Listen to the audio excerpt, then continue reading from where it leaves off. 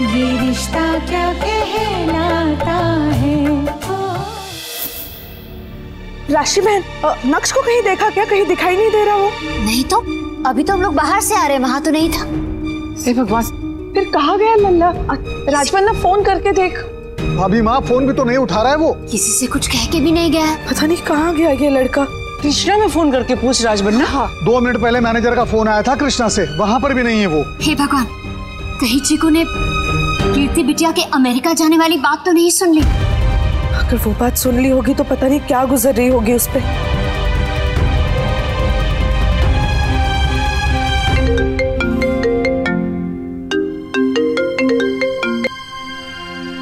जी दादी नायरा वो न, नक्श घर पे नहीं है मतलब पता नहीं कहाँ चला गया। तुम्हें कुछ बता के गया है तुम्हें पता हो वो कहाँ गया होगा? क्या? नहीं दादी पर ऐसे कैसे कहाँ गए होंगे भाई? दादी किसी ने कुछ कहा क्या उनसे? नहीं नहीं यहाँ तो किसी ने कुछ नहीं कहा नायरा।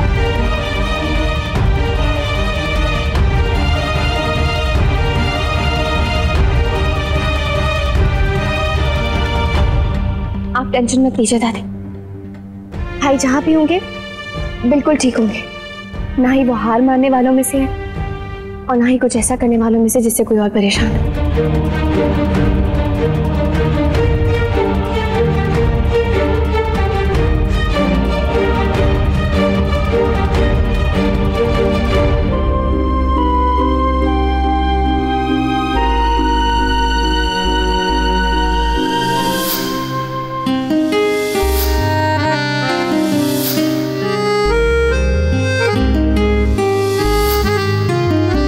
झूठ बोला है तुम्हारे भाई ने मेरी बहन से।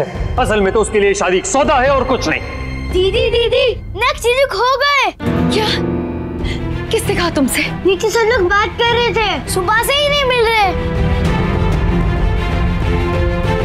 नायरा तुम खुद ही कह रही थी ना कि नक्श हार मानने वाले लोगों में से नहीं है। तो तो इस तरह मुँह लटका के क्यों खड़ी हो? वो जहाँ भी होगा ठीक होगा। सर नक्सर आए हैं बाहर।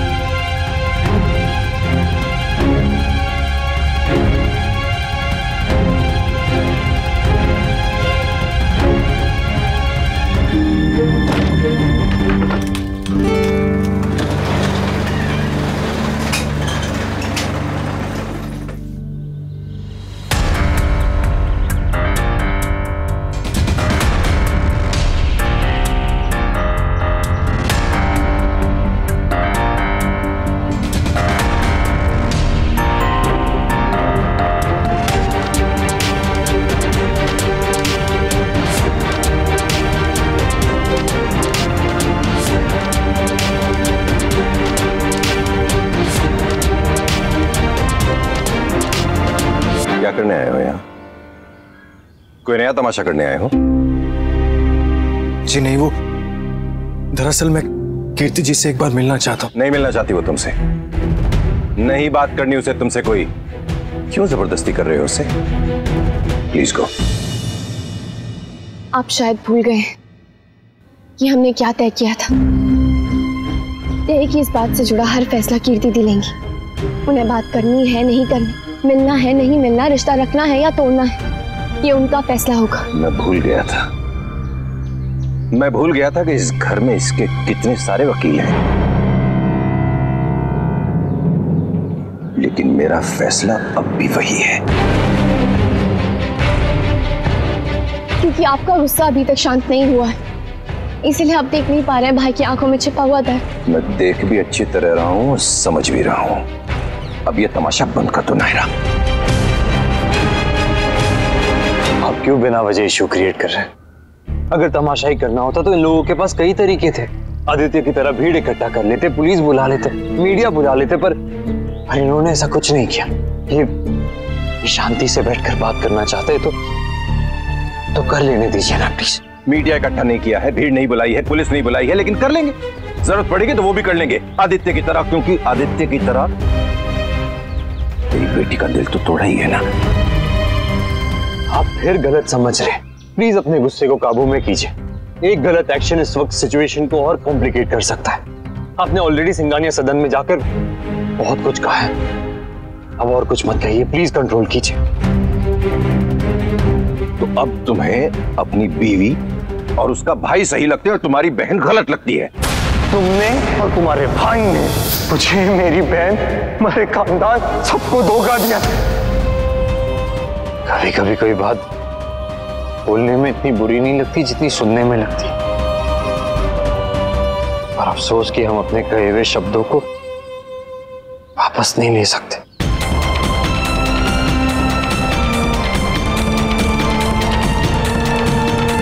मैं आपको हर्ट नहीं करना चाहता, इसलिए रिक्वेस्ट कर रहा हूँ कि जो भी फैसला होगा वो कीर्ति को लेने दीजिए। हम यहाँ ज़िंदगी भर भी बहस करते रहेंगे तो भी कोई फ़ायदा नहीं होगा अगर कीर्ति के मन को ना समझ ले। कीर्ति के मन की बात मैं अच्छी तरह समझता हूँ। वो इससे नहीं मिलना चाहती और ये बात खुद उसने कही और अगर वो नहीं मिलना चाहती तो फिर इसे उससे कोई नहीं मिला सकता। और अगर किसी के मन में बहुत अरमान है साथ देने के तो जो चाहे इसका साथ दे सकता है, लेकिन मेरा फैसला वही रहेगा। मैं इसे माफ़ नहीं करूँगा। और अगर इसमें अब जरा सी भी गैरत बाकी है तो ना बहस करेगा और ना ही परेशान। छोड़ दो पीछा मेरी बेटी का। जस्ट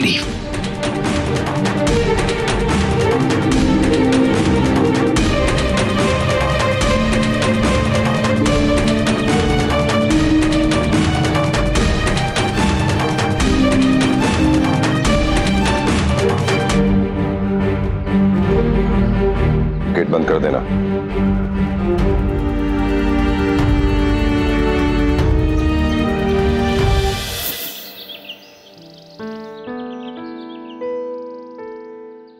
चाय ले आऊँ? नहीं अभी नहीं।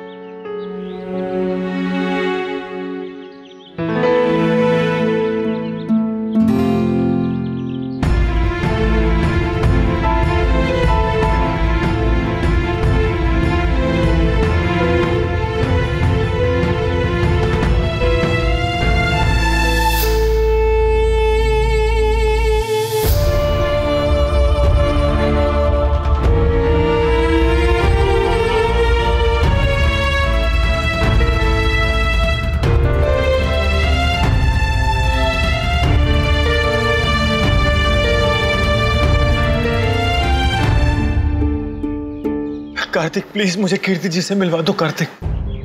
कार्तिक, मैं उनसे मिलना चाहता हूँ। उन्हें देखना चाहता हूँ। उनके बिना नहीं रह सकता। उनसे बात करना चाहता हूँ, कार्तिक। सही कहा है किसी ने। खो देने के बाद ही किसी की असली कीमत पता चलती है। मेरी लाइफ में कीर्ति जी की इंपॉर्टेंस का एहसास मुझे हो गया है, कार्तिक। प्लीज़ कार्तिक, मुझे उनसे मिलवा दो। I beg you Karthik please Beg you, Karthik. Please. No. Please Karthik मुझे कीर्ति जी से मिलवा दो फिर फिर वो जो भी कहेंगी ना वही होगा प्लीज़ नहीं नानी और मुझे पता है मेरी इस बातों से घर में काफ़ी लोगों को बुरा लग सकता है पर फिर भी भाई और कीर्ति दी को मुझे एक बार मिलवाना तो है। और फिर उनका जो फैसला हो, वो हो। पर बिना कोशिश किए मैं हार नहीं मानूँगी।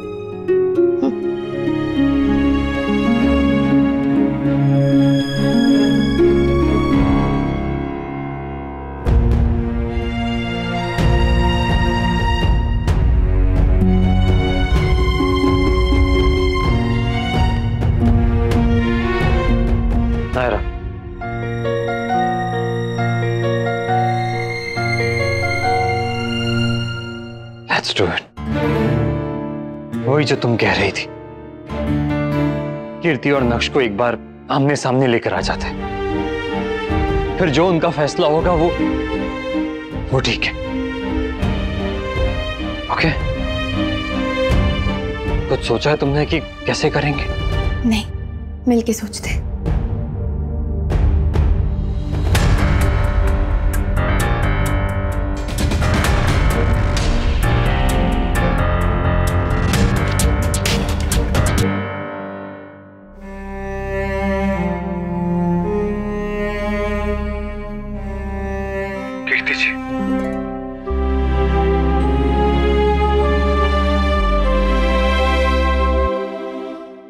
मुझे समझ में नहीं आ रहा कि मैं कहूँ भी तो क्या।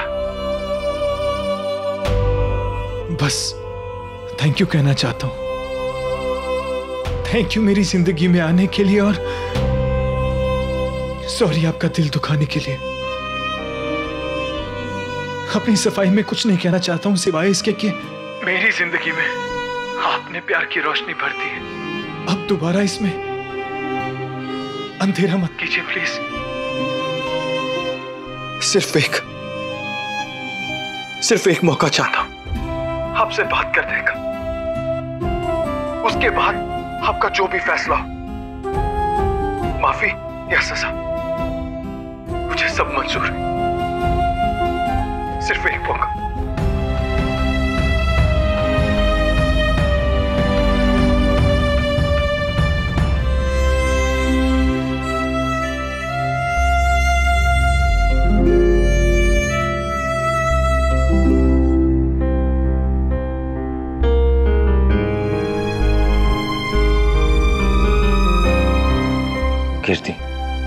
शाम को नक्श तुम्हारा पार्क में इंतज़ार करेगा।